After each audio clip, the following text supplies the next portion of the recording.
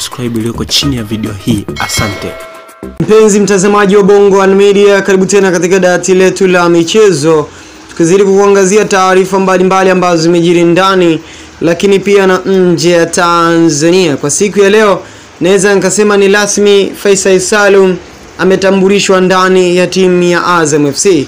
Ni taarifa ambayo imefikiwa kwa pande zote mbili, upande wa Yanga, Azam na mchezaji mwenyewe kupitia ukurasa rasmi wa Instagram. Uh, timu ya Azam wameweza kuthibitisha taarifa za usajili wa Faisal, lakini pia taarifa kubwa zaidi ni timu ya Yanga wao nao kuthibitisha kumuuza Faisal Salum katika timu ya Azam FC. Nikisoma taarifa iliyopostiwa katika ukurasa rasmi wa Instagram wa Yanga inasomekana kama ifuatavyo: taarifa kwa umma. Uongozi wa klabu ya Young African Sports Club unapenda kuutaarifu umma kuwa umepokea ofa kutoka katika klabu ya Azam FC ya kumhitaji mchezaji Faisal Salum. Baada ya mazungumzo ya pande zote mbili na kuzingatia matakwa ya kimkataba kati ya klabu na mchezaji, uongozi wa Young African Sports Club umefikia uamuzi wa kumuuza mchezaji huyo kwa klabu ya Azam FC. Mchezaji huyo Faisal Salum ameuzwa kwenda Azam FC kwa dau ambalo halitawekwa wazi kutokana na makubaliano ya pande zote mbili. Faisal ataungana na timu yake mpya baada ya makubaliano binafsi na dirisha la usajili kufunguliwa rasmi. Uongozi wa klabu ya Young African Sports Club unamtakia kila la heri Faisal Salum katika majukumu yake mapya. Imetolewa na idara ya habari na mawasiliano tarehe 8 ya mwezi wa 6 2023, Young African Sports Club. Ndo taarifa iliyopo hadi sasa.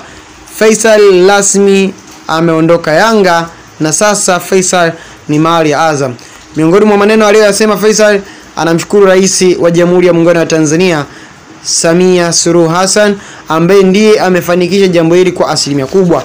Usisahau kuna michango ilikuwa ikiendelea katika mitandao ya kumchangia Faisal ili aweze kuitafuta haki yake katika mahakama ya usuluhishi kimataifa ya Hankaz.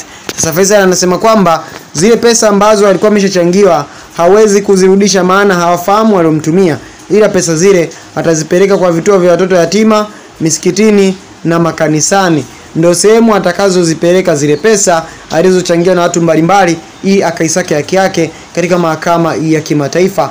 Sasa baada ya Rais wa Jamhuri ya Muungano wa Tanzania Mama Suluhu Samia Hassan kuingilia kati swala hilo na kuona haina haja ya mambo yaende mbali kwa klabu kubwa kama Yanga iliyotengeneza mafanikio makubwa kugombana na kijana kama Faisal, ni bora swala hilo waweze kumalizana, na jambo hilo limeweza kukamilika, wamemalizana na sasa Faisal ni rasmi ni mali ya Azam kama ambavyo taarifa zilikuwepo before. Kwa habari hizi na nyinginezo utakuwa na maoni yapi? Shaka kwenye upande wa comment, comment section. Tukutane wakati ujao, panapo majaliwa. Asante.